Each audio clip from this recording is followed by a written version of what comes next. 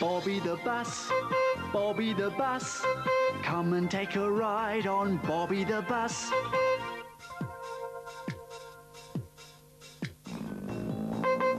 Oh, excuse me, tooted Bobbie.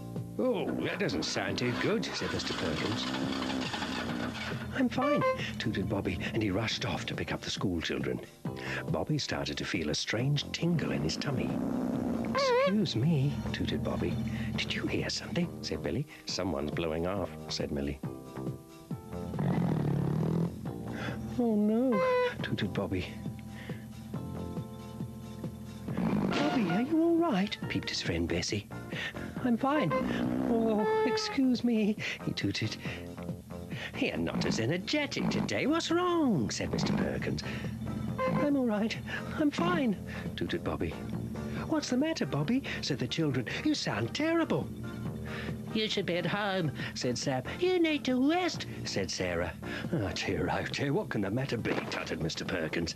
There's nothing wrong with me, tooted Bobbie, and he scurried off down the road. What's that noise? said Percy. I think you're sick, said Alice Bunbury. You can't keep going. You sound terrible. But I've got to keep going.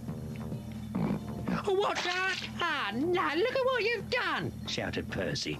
But Bobbie couldn't hear him. You can't carry on, Bobbie, peeped his friend Bessie. Why don't you go home and rest?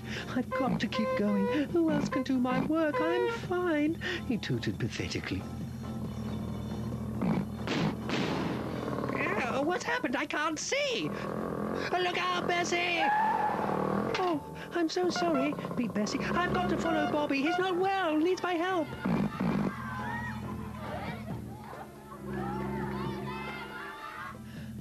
Feel awful, tooted Bobbie, and he came to a complete stop. It's time I got you back to the depot, said Mr. Perkins. but what about Tommy Thompson's parcel? And who'll pick up the children after school? tooted Bobbie anxiously. There's no way you can do any more, said Mr. Perkins. I'll help, peeped his friend Bessie. Mr. Perkins gave her Tommy's parcel, and then they drove back to the depot.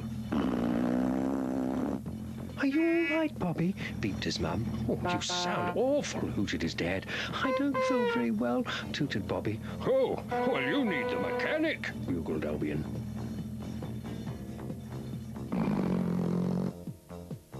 Let's see what the trouble is, said Mr. Perkins. Oh dear, oh dear, he said. Oh my, muttered the mechanic. What is it? What's the problem? tooted Bobbie. Is he going to be all right? beeped Bobbie's mum. The mechanic wiggled a wire and muttered. He squeezed Bobbie's hose. Ow! Oh, sorry, said the mechanic. Okay, I want to listen to you, so start up, please. Right. Hmm. Well, that could be, yeah, yeah, it could be the air hose, but, uh, well, we'll take a look. Hmm. Oh, dear. Oh, no, no, no, no, that doesn't sound good. The mechanic will have you better in no time, said Mr. Perkins. Now, I want you to be a brave little bus, said the mechanic. You've ruptured an air hose, so I have to go in to remove it. Poor Bobbie, beeped his mum sympathetically. Bobbie had to keep perfectly still while the mechanic worked on his engine. Wrench, screwdriver, clamp, hose. Here. Oh, just a little bit longer. You're doing very well, Bobbie, he said. There. Hm. You're all fixed. Now, you'll have to take it easy for a day or two. Thank you, tooted Bobbie. I'm feeling much better already. Later that day, after Bobbie had rested, his mum couldn't believe how well he looked. Oh, it's like you didn't do some permanent damage, bugled Albion. I'm as good as new, tooted Bobbie. I could race to the top of Mornington Mountain. Oh, maybe not today, tooted Bobbie as he headed off to pick up the children from Mornington School. Bobbie the bus, Bobbie the bus. Come and take a ride on Bobbie the Bus. Bobbie the Bus. Bobbie the Bus. There's room enough for all of us on Bobbie the Bus. No matter the weather, we'll all ride together. Each day is a surprise, it'll open up your eyes. Bobbie the Bus, Bobbie the Bus. Come and take a ride on Bobbie the Bus.